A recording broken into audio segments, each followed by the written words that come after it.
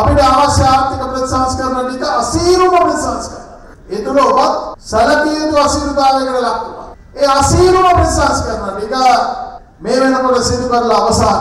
අවසාන වෙලා අද ක්‍රමානුකූලව අරගෙන ප්‍රතිඵල ලැබෙමින් තියෙනවා. හැබැයි අපි බලාපොරොත්තු වෙන මට්ටමට යන්න තව මාස කිහිපයක් ගත වෙනවා. අපේ ණය ප්‍රතිව්‍යුහගතකරණය අපි අවසන් කරාම අපි බලාපොරොත්තු වෙන විදිහට ජාත්‍යන්තර මූල්‍ය අරමුදලේ තුන්වෙනි වාරිකයේ ජූනි මාසයේ අපිට ලැබුණාම අපේ රටේ ආර්ථිකයේ ක්‍රියාකාරීත්වය මීට වඩා වේගවත් වෙනවා ශක්තිමත් වෙනවා.